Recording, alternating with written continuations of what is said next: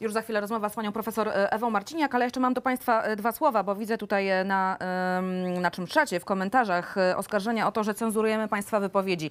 Ja niejednokrotnie zwracałam się do państwa z prośbą o to, żebyśmy się do siebie zwracali, żebyśmy komentowali zarówno program, jak i polską rzeczywistość i wszystko, co z nią związane w sposób krytyczny, jeżeli państwo mają taką potrzebę, ale cywilizowany, nie używając wyzwisk, nie używając przekleństw i tego typu rzeczy. I uprzedziłam, że jeżeli kiedykolwiek takie wypowiedzi będą miały miejsce, konsekwentnie będziemy je z czatu usuwać. Zawsze mają Państwo prawo do krytyki e, wszystkiego, e, co się Państwu e, żywnie podoba. Niemniej będziemy dbali o inkluzywny język od samego początku do samego końca. Jeżeli ktoś nie akceptuje tych reguł, bardzo mi przykro. A teraz już przechodzimy do rozmowy z panią e, profesor e, Ewą Marciniak, e, politologiem Wydziału Nauk Politycznych i Studiów Międzynarodowych Uniwersytet Warszawski. Dzień, Dzień dobry. dobry pani redaktor, dzień dobry państwu. Przed chwilą mieliśmy taką pigułę, jak to się mówi potocznie, z tego, co wydarzyło się na Placu Zamkowym w niedzielę. Pani, jak rozumiem, jest euroentuzjastką. Euroentuzjastką i realistką również. No i co, co, myślę, co, że co, te co dwie, czuje Pani po tej niedzieli? Myślę, że te dwie postawy są y, jak najbardziej pożądane, Mhm. bo czasami entuzjazm y, przesłania y, rzeczywistość w tym znaczeniu, że, że przesłania pewne realia, a też trzeba je brać pod uwagę. Co po tej niedzieli? Bardzo imponujący im- imponujące doświadczenie w tym znaczeniu, że przecież przypomnijmy, że to jeden tweet e, Donalda Tuska spowodował taką mobilizację. Zazwyczaj, gdy ludzie wychodzą na ulicę w jakiejś sprawie protestować za, przeciwko, jest to jednak e, duży poziom zorganizowania, przygotowania, no i jakby wcześniejszego, wcześniejszych działań. I dopiero skutkiem tego jest to, co widzimy na ulicach, właśnie ta mobilizacja. Więc to oznacza, że ludzie mają poczucie, że chcą być w Unii Europejskiej, no bo przecież ta narracja która towarzyszyła y, temu, temu spotkaniu y, ludzi, których nazwiemy euroentuzjastami bądź y, eurorealistami. Y, Ta, ta mobilizacja świadczy o tym również, że ten zarysowany problem w polskiej debacie publicznej czy w polskiej rzeczywistości politycznej jesteśmy w Unii na prawach godnościowych, suwerennościowych i spełzającym polexitem, czy też jesteśmy w Unii, akceptując wszystkie wartości, e, które e, są u podstaw e, Unii Europejskiej i gramy w te reguły, które wspólnie wyznaczaliśmy przecież, no to widać, że bardzo duża część społeczeństwa jest właśnie po stronie akceptowania tych reguł. I teraz y, oczywiście pojawia się pytanie, w jakim stopniu to y, zmobilizuje na trwałe i uaktywni postawy, również takie postawy, które, mm, poprzez które demonstruje się coś, nie tylko takie, które polegają na tym, że w domu się opowiada, gdzie my jesteśmy, jaki mamy stosunek do bieżącej polityki, no to tutaj jest oczywiście problem, bo gdyby miało być tak, że ta mobilizacja miała być względnie permanentna, czyli rządzący mieliby co, co jakiś czas komunikat niezgody na pewne e, działania, no to wtedy to wymaga zupełnie innej komunikacji, zupełnie innej narracji ze strony opozycyjnych polityków, a zwłaszcza liderów opozycji, którzy w tym czasie powinni swoje personalne ambicje schować do, mm, do kieszeni. tego. Nie potrafią tego tego nie potrafią, dlatego że też niektórzy z nich, jak na przykład Szymon Hołownia, walczy o swoją o kształtowanie, Podmiotowość, taką o podmiotowość. Dokładnie, Mhm. o kształtowanie swojej tożsamości. To jest jakby początek. Tylko pytanie, czy więcej na tym straci, czy zyska?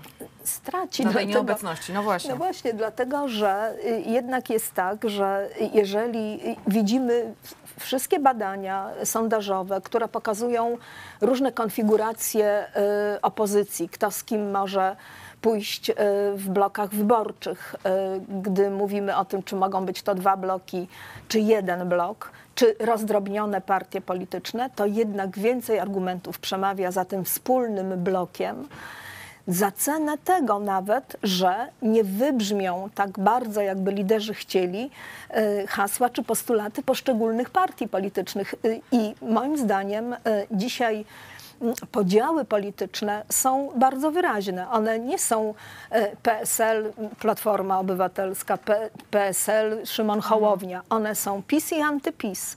I teraz, jeżeli y, partie polityczne, a zwłaszcza liderzy, potrafiliby odczytać, a moim zdaniem zdają sobie z tego sprawę, że właśnie tak jest, że ten podział y, jest, no, że, że scena jest spolaryzowana, ona jest dwubiegunowa w tym momencie, niezależnie od tego, że po jednej stronie są przecież różne partie polityczne z różnymi ideami, czy to agrarnymi, czy to związanymi z zieloną demokracją, czy to z, proeuropejskie i tak dalej, ale to się da uwspólnić. Tu jest jeden wspólny mianownik, mianowicie suwerenne, demokratyczne państwo europejskie. No dobrze, pani profesor, a czy pani zda, zgadza się z taką tezą, że w przypadku tego no, umownego już w cudzysłowie e, zjednoczenia odpowiedzialność za nie właśnie zawsze spoczywa na najsilniejszym? Jeżeli to się nie uda, to odpowiedzialność spadnie na Donalda Tuska.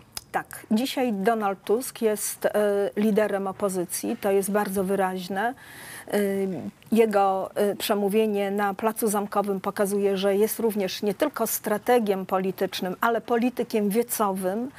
E, Naprawdę wy- miała pani takie wrażenie? Bo ja mam wrażenie, że on był wybity z rytmu przez to zagłuszanie, że on właśnie wypadł z umiejętności tego takiego typowo wiecowego e, przemawiania, że później występ Rafała Trzaskowskiego był zdecydowanie e, silniejszy, bo on no, w praktyce już całą swoją kampanię przy tego typu przeszkadzajkach, znów w cudzysłowie, miał e, musiał, trening, miał trening. E, I tutaj było widać różnicę. Czy pani się nie zgadza Ja uważam, że Donald Tusk jako inicjator dobrze wypadł jako, jako polityk wiecowy i potem, gdy analizowałam strukturę tego wystąpienia, ona była jak najbardziej poprawna retorycznie i z takimi dużymi, y, wyraźnymi elementami perswazyjnymi. Czyli coś, co jest absolutnie adekwatne do takiej retoryki wiecowej, bo to nie jest przemówienie sejmowe, to nie jest przemówienie gdzieś tam Tak, w jakimś małym gronie nawet. na Mhm. konwencji i to było dobre. A to, że Rafał Trzaskowski wzmocnił ten przekaz, to moim zdaniem dla wyborców y, y, tej strony sceny politycznej jest bardzo dobry komunikat. To znaczy, że jest lider y, doświadczony, polityk, który... Że się uzupełniają po prostu Dokładnie, oni są komplementarni wobec siebie y, i polityk nowego pokolenia, ale już też doświadczony, zaprawiony w bojach y, wyborczych, który, y, który, którzy to oni obaj mo mogą tworzyć znakomity tandem, a gdyby jeszcze do tego dołączyć innych polityków, dopuścić ich do głosu, a mam na myśli głównie po, polityczki, no to, to rzeczywiście można by popatrzeć na tę formację nie jako na formację wodzowską, która konstruuje się wokół jednego, e, jednego lidera, a na taką, która y, ma wielu liderów i każdy może zaspokajać inne oczekiwania e, swojego Pani profesor, to elektoratu. jeszcze wróćmy, bo troszkę mm, e, popłynęłyśmy w tę stronę już e, ocen samych wystąpień, ale wróćmy do tej odpowiedzialności Donalda Tuska za, za, za jedność opozycji, bo z jednej strony widzimy, i to już wspomniałyśmy, mm, no taką trochę niezgrabną próbę zachowania swojej podmiotowości przez Hołownię czy, czy Kosiniaka-Kamysza, co zresztą PSL to jest w ogóle inna historia, bo tam tarcia bardzo duże następują co do kierunku, w którym PSL powinien iść, ale też, e, czy nie ma Pani wrażenia, że Donald Tusk jest... e, no zbyt, e, nie wiem czy nie użyję zbyt mocnego słowa, ale okej, zaryzykuję, zamordystyczny. W tym sensie, że jestem ja i jeżeli chcecie się dostosować, to się dostosujcie, a jak nie, trudno. no, ma za sobą historię, czyli Mhm. doświadczenie y, liderowania opozycji tutaj, wygranych kilka z rzędu wyborów, gdy był na czele Platformy Obywatelskiej i to mu daje takie poczucie upoważnienia do tego, że on Tylko może. czy słusznie obecnie, No tak? właśnie i teraz y, to jest pytanie, czy słusznie. Y, Proszę zwrócić uwagę, jak bardzo szybko liderzy Platformy Obywatelskiej podporządkowali się temu scenariuszowi powrotu Donalda Tuska i uczynili go pełniącym obowiązki lidera. Ale podobno w Platformie niecierpliwość co do sposobu sprawowania władzy w tej chwili przez Tuska narasta. No właśnie, i to jest to, to pytanie. E, Ja jestem za tym, żeby eksponować nie tylko siebie, ale również pozostałych liderów. No, mm, jako przykład dajmy tutaj e, Trzaskowskiego, który nie, ma bardzo duży potencjał polityczny, niewykorzystywany jako w roli prezydenta miasta.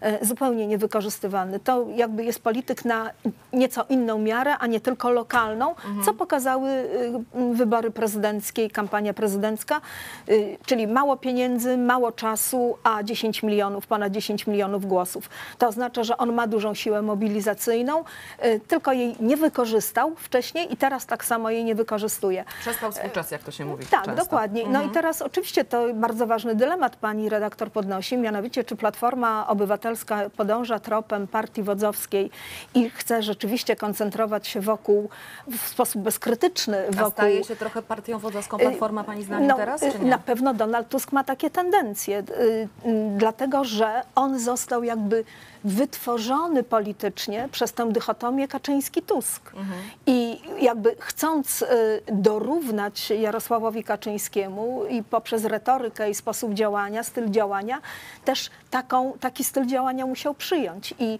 wtedy... y, Gramy jak przeciwnik pozwala, Dokładnie, tak to, to, się równoważyło. Y, Konflikt polityczny Tusk-Kaczyński, decyzje, które były podejmowane w trakcie, gdy Platforma sprawowała władzę, kontestowane przez O Właśnie, a nie pani przez profesor, PiS. bo pani jeszcze Więc ważną, ważny wątek jeszcze po, poruszyła, że od lat to jest Tusk Kaczyński i bardzo często ta narracja pozostałych ugrupowań opozycyjnych e, polega na tym, że mówi się, ludzie mają dość tego konfliktu, ludzie już nie chcą e, wojny między Kaczyńskim i Tuskiem, że to było, minęło, e, nie wróci i trzeba iść do przodu.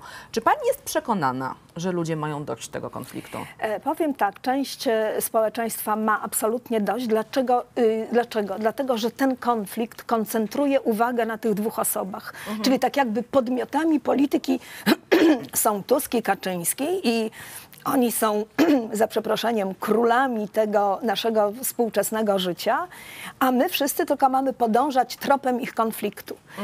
E, Jest część społeczeństwa, którą wokół siebie koncentruje Szymon Hołownia, Proszę sobie spokojnie łyczka kawy I. Szymon, dziękuję zna, bardzo. Znam, znam ten problem, znam ten problem. y, y, kwestię początku roku akademickiego i eksploatacji i głosu po przerwie wakacyjnej.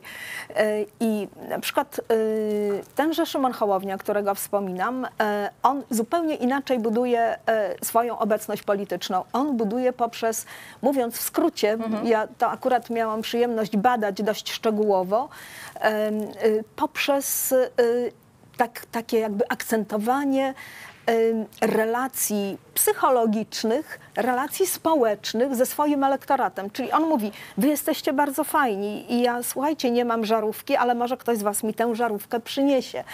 Mówię w skrócie jako zobrazowanie pewnego typu relacji między osobą, która aspiruje do tego, by być politykiem sensu stricte. Póki co moim zdaniem to jest taki wyraźny lider społeczny, ale on legitymizuje się społecznie, legitymizuje tę swoją obecność poprzez pokazanie, dowartościowanie swojego elektoratu, pokazanie, wy jesteście ważni, wy, którzy e, respektujecie zasady mm, e- eko- ekologii, zielonej demokracji. Nie chcecie tej zdepola- takiej spolaryzowanej polityki, a chcecie ją zdepolaryzować, czyli jest taka część społeczeństwa, to jest oczywiście moim zdaniem w tej chwili około, jeśli mówimy o elektoratach, około 10% elektoratu, nie więcej. E, No podobno wewnętrzne badania Polski 2050 pokazują 15, ale to chyba trochę No, dużo. To może, to, to, to, mo- to, to, to, to nie jest ta duża część elektoratu, ale jest taka część elektoratu, która nie chce koncentrować się na tym, e, jak konstruują politykę dwaj liderzy, ale chce też siebie widzieć jako osoby, które mają wpływ na politykę i Hołownia im to umożliwia. Jest to trochę utopijne z jednej strony, z drugiej strony może ma charakter eksperymentalny, bo e, ludzie też potrzebują autorytetów i jeżeli Hołownia zachowa pewną proporcję między tym, że sam jest postrzegany jako autorytet, a między tym procesem takiego upodmiotawiania ludzi, to może osiągnąć sukces, ale pod warunkiem, że, ludzie, że to są ludzie światli, którzy również rozumieją politykę. To teraz jeszcze chciałam wrócić do jednego sformułowania, którego Pani użyła podczas naszej rozmowy, czyli pełzający polexit. Czy Pani zdaniem ten pełzający polexit i ta polityka e, Prawa i Sprawiedliwości w stosunku do e, Unii Europejskiej to będzie ta kropla, która przeleje e, społeczną czar- czarę goryczy, czy nadal to nie jest to? No bo mieliśmy protesty nauczycieli, mieliśmy protesty lekarzy, mieliśmy szerokie e, protesty, kilkakrotnie e, e, większe jeszcze niż to, co było w Warszawie, kobiet i wspaniałych, wspierających kobiet mężczyzn jesienią ubiegłego roku w kontekście orzeczenia Trybunału Julii Przyłębskiej. I nic. nic nie drgnęło. Teraz mamy konflikt związany z granicą polsko-białoruską, granie na nucie uchodźczej i Prawo i Sprawiedliwość umacnia się w sondażach. Czy rzeczywiście akurat sprawa europejska to będzie to, co PiS, e, czym PiS przegra, czy nie? Czy to jeszcze jest za wcześnie? To jest jeszcze za wcześnie, to nie jest ten moment, dlatego że e, Prawo i Sprawiedliwość równoważy tę tę swoją politykę wobec Unii Europejskiej, tak to nazwijmy e, w skrócie, innymi działaniami. I te inne działania to są oczywiście bardzo hurra optymistyczne opisy naszej e, sytuacji finansowej. Patrz wypowiedź pana Glapińskiego, czy innych polityków również. My sobie poradzimy, my jesteśmy bardzo zamożni, świetnie gospodarujemy. E, Budżet jest zrównoważony, mimo że, że mamy dług, ale jest y, taka wyrobiona zdolność do posługiwania się takimi wskaźnikami ekonomicznymi, które przemawiają za sukcesem.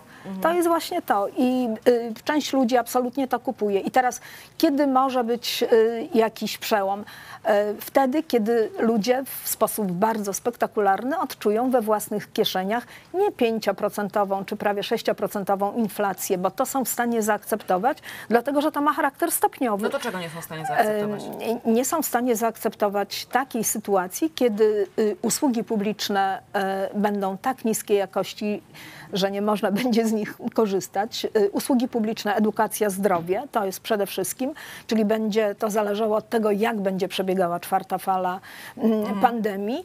E, No i innymi słowy, kiedy we własnych kieszeniach i we własnym codziennym życiu odczują negatywne konsekwencje Czyli tak chociażby ceny paliw na stacjach benzynowych. Choćby ceny paliw, dlatego że my oceniamy polityków przez pryzmat codziennych doświadczeń. To nie jest wielka Czyli nie ustawa. idee, nie wartości, nie, Nie. europejskość, tylko po a prostu pieniądze. I y, codzienne doświadczenia. Jak my sobie dzisiaj żyjemy? Dlaczego, y, dlaczego mamy taką y, trwałą akceptację Prawa i Sprawiedliwości? Dlatego, że y, 500 plus oraz inne transfery socjalne na, w takim stopniu upodmiotowiły, ale również w sensie materialnym, ale też i politycznym, dużą część wyborców, że to przekonanie jest na tyle trwałe, e, ponieważ to jest pierwsze jakby to, co Prawo i Sprawiedliwość zrobiło y, zresztą bardzo słusznie, bo tak jak zaczynają e, politycy rządzić, to buduje taki punkt odniesienia do dalszych ocen.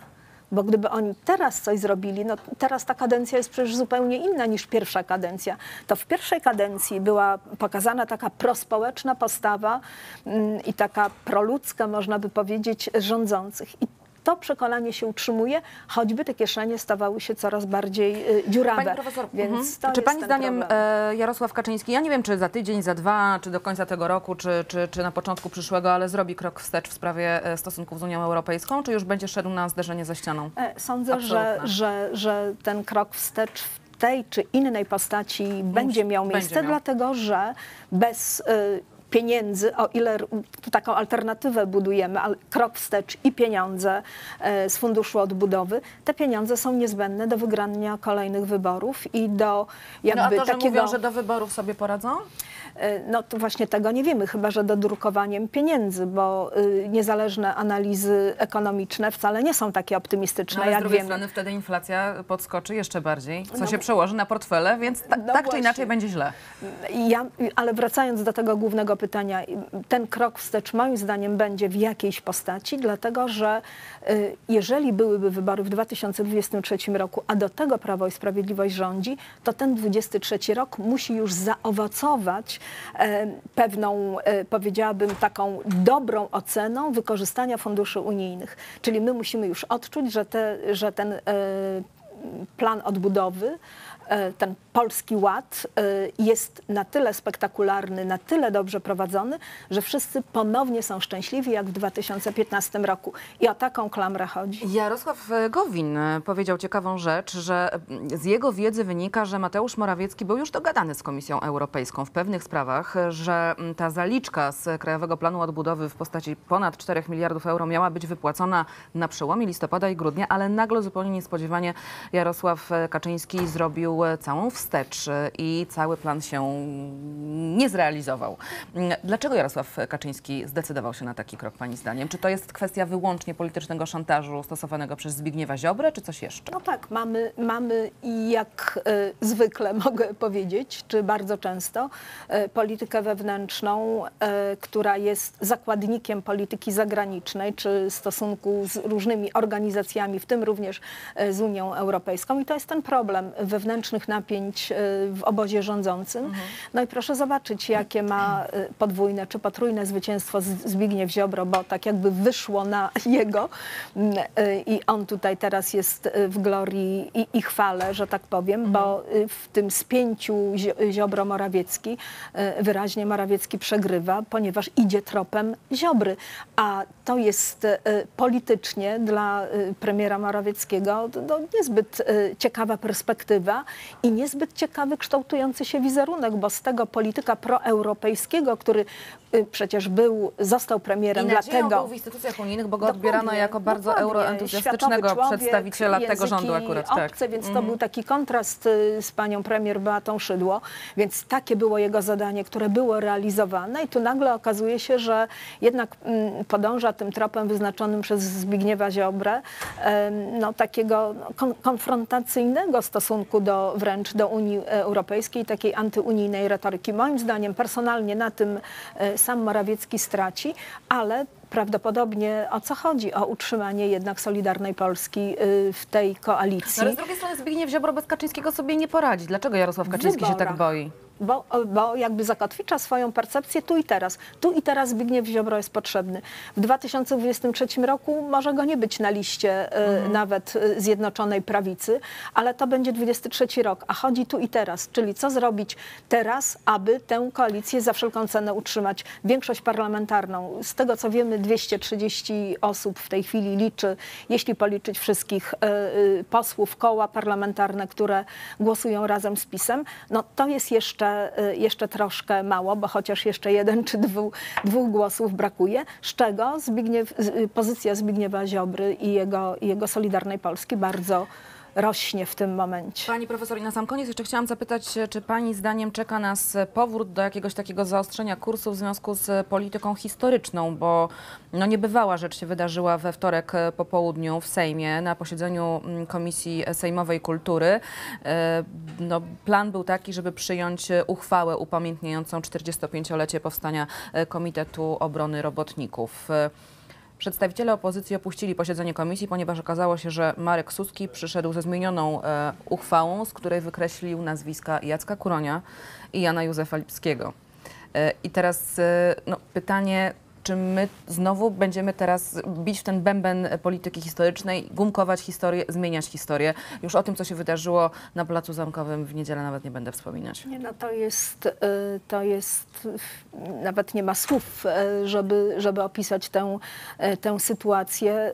Oczywiście można historię interpretować na własne sposoby, zgodnie z własnymi celami politycznymi, ale nie można zmieniać historii. To Kuroń Lipski i, zresz- i inni zresztą y, działacze y, koru y, w sposób oczywisty przyczynili się do i do powstania, i do mm, takiego kształtowania znaczenia tej organizacji w okresie PRL-u. I w każdym podręczniku, każdym podręczniku, który dotychczas był, bo nie wiem, jakie będą nowe, Minister Czarnek też może coś kombinuje innego. No. to jest w sposób oczywisty, to, to, to przecież Kuroń to historia, y, historia Polski, zwłaszcza Kuroń. Mhm. I no ja myślę, że no nie wiem, może to jest pomyłka, czy nie. jest to pomyłka. Y, Jeśli nie jest to pomyłka, to y, pana, pana posła Suskiego, to, to rzeczywiście y, jest to przekroczenie kolejnej granicy w gumkowaniu historii. Już y, niektórzy są bardzo mocno wygumkowani, jak na przykład prezydent Wałęsa, pomijając ocenę aktualnej jego aktywności, to historyczna jego aktywność no, jest niepodważalna. Ona oceniona tak czy inaczej, ale jest.